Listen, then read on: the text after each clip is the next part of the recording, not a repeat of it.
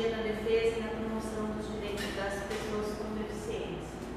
É, eu sou uma mulher sem deficiência, uma mulher cis, tenho um metro e meio, sou branca, é, tenho cabelos castanhos na altura dos ombros e tenho 45 anos, 20, 23 anos de formada, é, sempre trabalhando nas temáticas dos direitos das pessoas com deficiência, mas especificamente também tinha o direito à educação.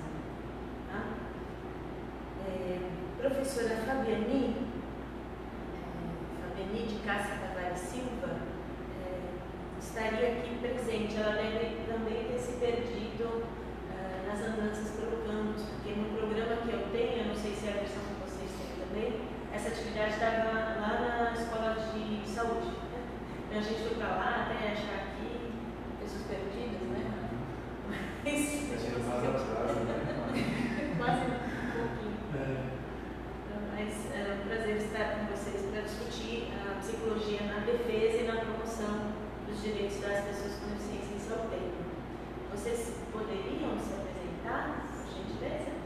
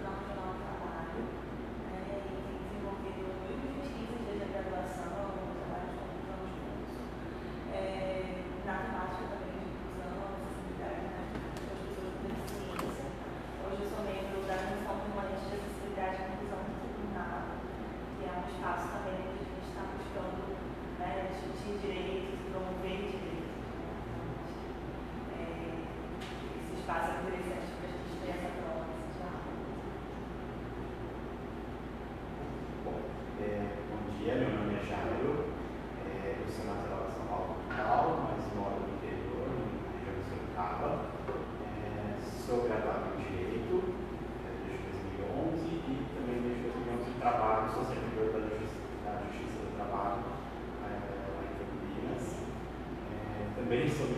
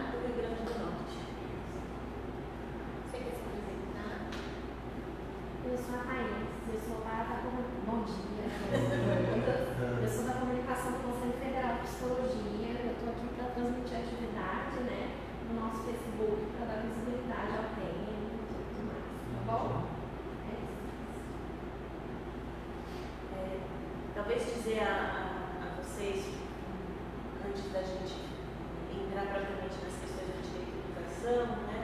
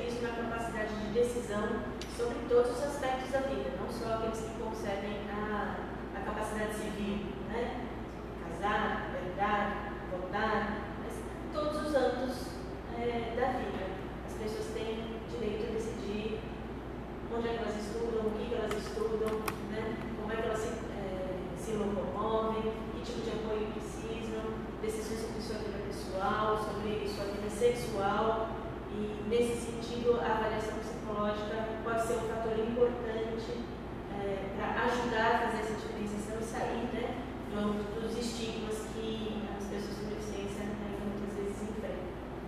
Então, só para disparar essa conversa no sentido de o que, que a psicologia como ciência e profissão, né, por meio dos seus órgãos representativos, pode ajudar no diálogo com a sociedade a respeito da, da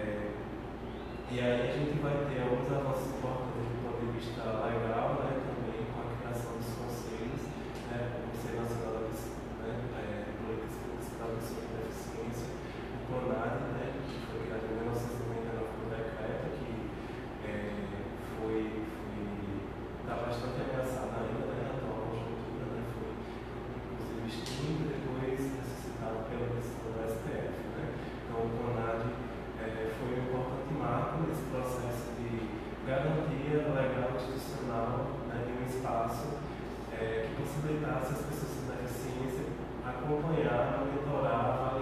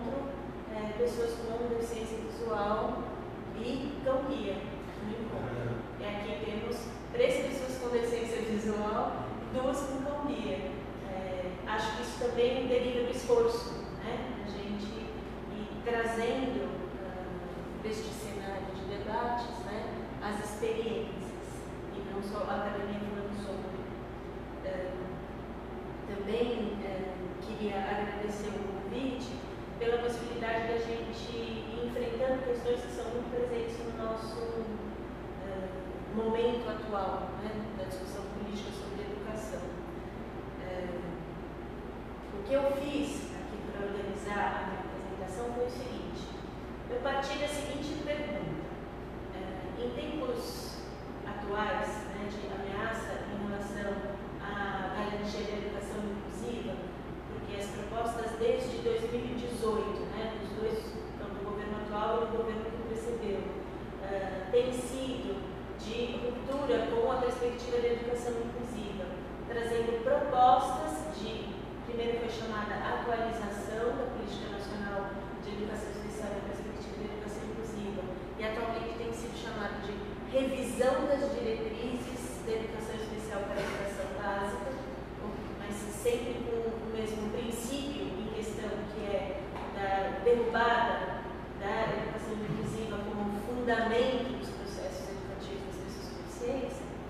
Né? Então, diante desse quadro, muita gente tem falado, puxa, mas a população concorda com isso, se a gente for discutir com os professores, se a gente for discutir com familiares, na sociedade em geral, elas também vão dizer que a educação tem que ser feita em espaços especializados, instituições exclusivas. Tem aparecido essa ideia de que temos medo de fazer essa discussão porque a população vai ser a favor do retorno das práticas institucionalizantes. Né? Então, com esta pergunta na cabeça, eu fui visitar as conferências nacionais sobre os direitos das pessoas com deficiência e as conferências nacionais de educação, né, tomando esses dois tipos de documento como expressão do debate social amplo sobre o a questão da educação inclusiva. Que, que eu estou tomando esses documentos como expressão de um debate amplo? Porque houve etapas uh, municipais, houve etapas estaduais e houve etapa nacional, sempre com eleição de delegadas e delegados que representassem movimentos sociais, que representassem trabalhadores e trabalhadoras e representassem as famílias, além, claro, é, também dos gestores e gestoras das políticas públicas.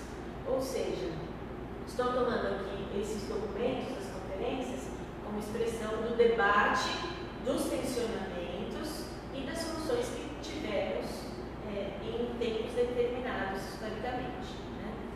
Uh, e a minha pergunta era essa: o que, é que se diz sobre o direito à educação das pessoas com deficiência?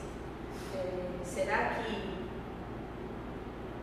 se a gente for estudar esses documentos, os movimentos sociais, as trabalhadoras e os trabalhadores, as famílias vão dizer: prefiro escola especial, quero a retomada dos espaços uh, segregados de educação? Foi essa a pergunta. Então, vou apresentar para vocês o que eu recolhi de resultados e depois, se vocês acharem que é um caso, eu posso enviar no formato PowerPoint acessível uh, para que vocês tenham isso registrado. Então, direito das pessoas com deficiência em educação, o que, que nos dizem as conferências nacionais? Sobre os direitos das pessoas com deficiência e as conferências nacionais de educação. As conferências nacionais dos direitos das pessoas com deficiência foram quatro até o momento. A primeira ocorreu em 2006 e foi chamada durante a gestão de Paulo Luque, né, como subsecretário de Direitos Humanos, e teve como tema Acessibilidade, você também tem compromisso. 2006. Em 2008, tivemos a segunda conferência, que foi chamada uh, também durante a gestão de Paulo Vanucci, já como secretário de Direitos Humanos, de Direitos Humanos. O tema era Inclusão, Participação e Desenvolvimento um novo jeito de avançar. A terceira conferência, em 2012, ocorreu, foi chamada então durante a gestão da, da Secretária Especial de Direitos Humanos, Maria Rosário Nunes, com o tema Um olhar através da Convenção sobre os Direitos das Pessoas com Deficiência, da ONU, Novas Perspectivas e Desafios. Por fim, em 2016, a quarta conferência, chamada durante a gestão de Rogério Sotiri, secretário também especial de Direitos Humanos, com o título Os Desafios na Implementação da Política da Pessoa com Deficiência, a Transversalidade como radicalidade dos direitos humanos. Esse foi a última conferência, o último tema. Bem, olhei para essas uh, conferências e procurei o seguinte: o que, que aparece sobre educação e o que, que aparece sobre escola especial. Né? Uh, na primeira conferência, a que ocorreu em 2006, nós tivemos 409 ocorrências do termo educação e quatro ocorrências do tema escola, do termo escola especial. Tá? Eu vou começar pelo mais, uh, pelo mais estrito, né, que é da escola especial. As quatro ocorrências acontecem numa mesma oração, uh, proferida por uma delegada do Ceará, que diz o seguinte: eu recebi negação do meu filho em escola especial. Nem escola especial paga recebia meu filho. Quando eu tive acesso à declaração de Salamanca,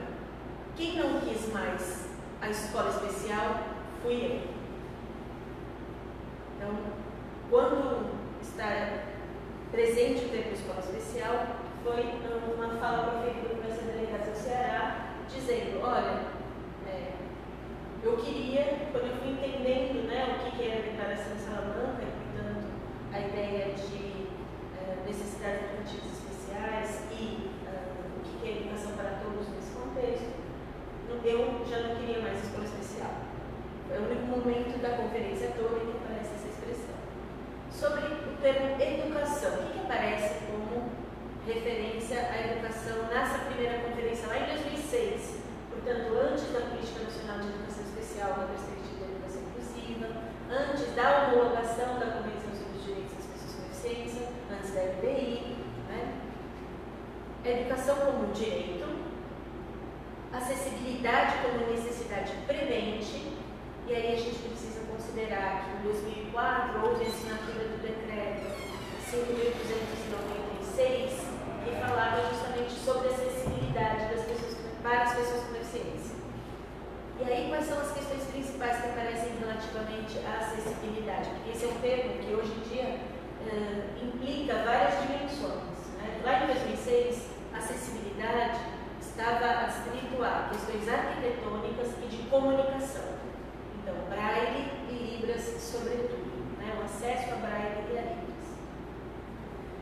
A importância das ações do Ministério Público, como o jeito de as pessoas se organizarem para reivindicar seus direitos, porque isso não estava assegurado.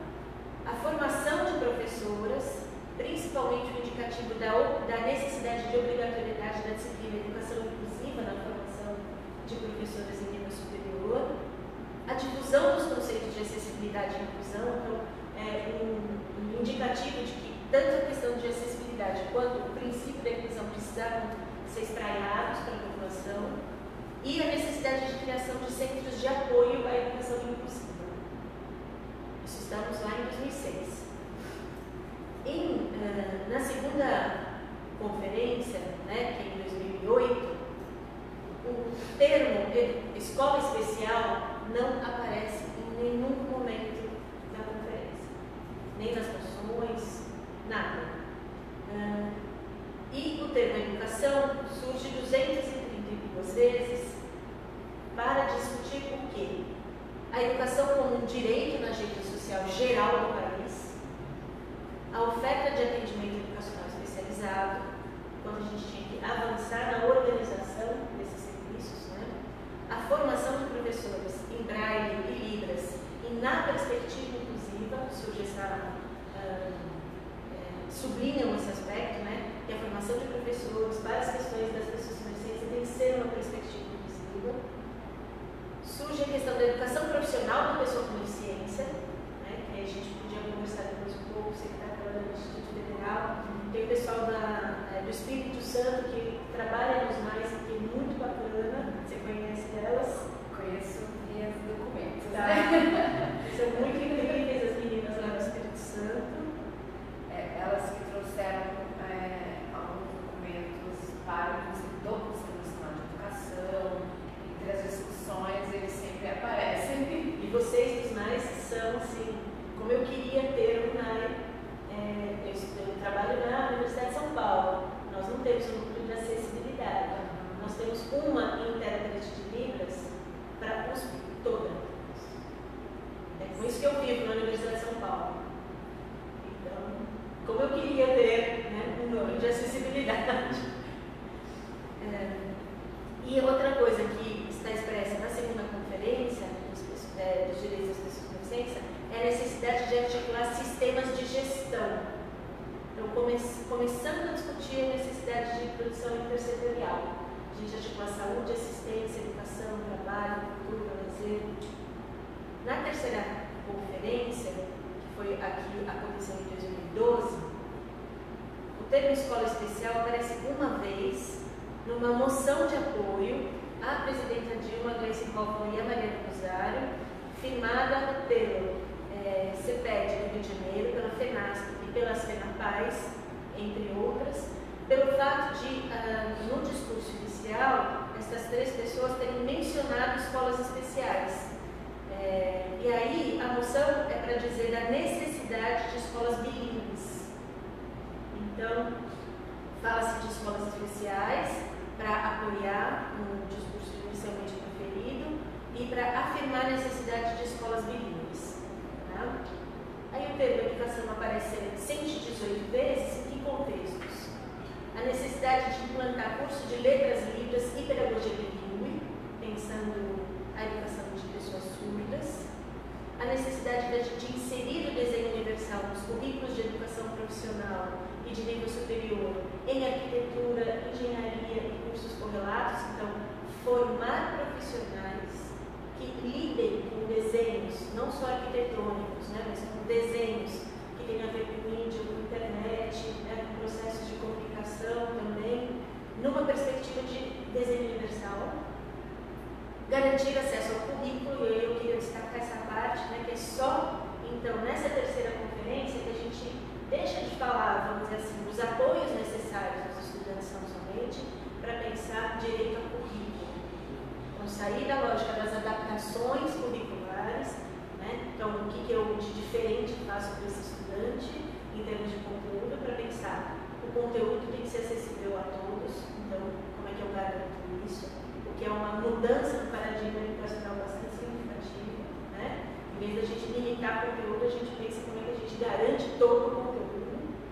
Acesso ao Enem, que eu acho que também é uma questão para a gente destacar, porque a gente começa a se, a se preocupar mais com os jovens e o acesso não só ao ensino superior, como ao mundo do trabalho.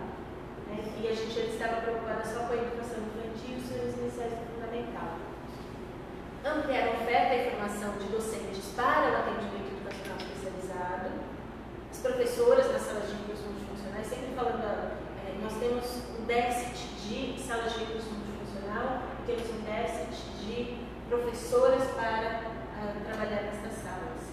E a questão, de novo, da atenção uh, da articulação intersetorial.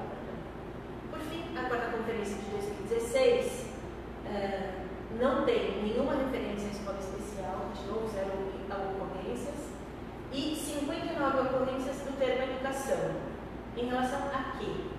A políticas públicas de enfrentamento à discriminação, e aí queria destacar já o efeito, né, na última conferência, que é de 2016, da Convenção sobre os Direitos das Pessoas com Deficiência, que a gente começa a discutir mais na, do ponto de vista dos direitos humanos e não só da questão da educação, da reabilitação, que é o clássico, né, na, na discussão sobre os direitos ciência, passa-se a falar de educação para a diversidade sexual, reconhecendo a sexualidade das pessoas com deficiência e o quanto a gente não tem informação e a gente não faz essa discussão em termos de educação para a diversidade sexual. Formação e educação continuada em direitos das pessoas com deficiência. Então, a gente fazer um debate sobre a amplitude né, de direitos e não só a questão da limitação. A necessidade de uma política nacional de educação a formação para a educação de pessoas com deficiência e ampliação do quadro, novamente, né, do quadro de docentes das salas de recursos multifuncionais, a questão da reserva de vagas em universidades, então a gente passa a discutir mais especificamente o ensino superior, e de novo a promoção da intersetorialidade. A última parte, as conferências nacionais de educação. Então, analisei as conferências sobre deficiência, agora as conferências Nacionais de Educação. Tivemos três conferências nacionais de educação, 2010, 2014 e 2018. O documento de 2018 não está disponível ainda, o documento final da CONAI. Então, é, não pude fazer esse rastreamento. Mas a primeira conferência em 2010 foi chamada durante a gestão Fernando Haddad e tinha como tema Construindo o Sistema Nacional Articulado, Plano Nacional de Educação, Diretrizes estratégias de ação. A segunda conferência, que é a de 2014, foi chamada durante a gestão Luiz Mercadante, é, o Plano Nacional de Educação, na articulação do Sistema Nacional de Educação, participação popular, cooperação federativa e regime de colaboração. Sistema Nacional de Educação que não foi implementado todavia. Né? Temos essa, é, essa luta é mais de décadas, né? remonta ao, ao século XX, para falar uma coisa assim de fato, é, já foi deliberada em 2014, estamos há cinco anos dessa deliberação e não conseguimos implantar o Sistema Nacional de Educação. Enquanto a gente vê no SUS, no SUS, né, no Sistema Único de Saúde, no Sistema Único de Assistência Social, o quanto a gente pode, sem dúvidas, fazer muitas críticas ao modo como está funcionando, ao modo como está organizado, mas nenhuma delas diz assim, o sistema único não é bom. A ideia de sistema único, trabalhar como sistema único não é bom. Né? Então, as críticas nunca são relativas à, à organização dos entes federados para a promoção de uma política organizada, integrada. Né? E na educação nós não temos isso até hoje. Nós temos diferentes entes federados promovendo diferentes formas de organizar o sistema educacional. Isso quer dizer que no município convivem a rede municipal, a rede estadual, as escolas federais, a rede privada e a rede filantrópica, que às vezes é conveniada, às vezes não a uma dessas redes. Então, se você matricula a sua filha na educação infantil municipal, ela, depois ela pode ir para fundamento os anos iniciais da fundamental na rede municipal, mas nos anos finais da fundamental ela vai para a rede estadual, que pode estar organizada de forma absolutamente diversa e, e não, e não integrada. Né? Bem, e a terceira conferência, em 2018, teve, é, foi chamada durante a gestão José Mendonça Bezerra Filho e teve como tema a consolidação do Sistema Nacional de Educação e o Plano Nacional de Educação, monitoramento, avaliação e proposição de políticas para a garantia do direito à educação de qualidade social, pública, gratuita e laica. Então, na, eu só pude fazer o estudo em relação à, à conferência de 2010 e a de 14, usei a busca pelos seguintes termos, né, inverti, né? Nas de direitos das pessoas com deficiência eu procurei educação escola especial e nas de uh, educação eu procurei os termos deficiência, escola especial ou escola exclusiva, né, porque é um termo que vem sendo utilizado uh, atualmente, e educação especial. Tá? Procurei esses quatro termos. Uh, na conferência de 2010, o termo escola especial e escola exclusiva teve zero ocorrências. Os dois termos tiveram zero ocorrências. O termo deficiência apareceu 32 vezes. Em relação a quê? A garantia de justiça social para as pessoas com deficiência, a correlação das deficiências dos sistemas de ensino, né, não das pessoas, mas dos sistemas, e a defesa da educação inclusiva para as pessoas com deficiência. O termo educação especial, por sua vez, aconteceu, do, a, a, ocorreu 12 vezes. Em relação a quê? afirmação da necessidade de transformação da educação em sistemas inclusivos, a necessidade de oferta uh, ampliada do atendimento educacional especializado, a necessidade de formação de professores, a necessidade de ação em rede. E a questão da acessibilidade comunicacional, ainda muito focada em braille e libras. Tá? Na segunda conferência, essa que ocorreu em 2014, de novo, ah, os termos escola especial e escola exclusiva tiveram zero ocorrências.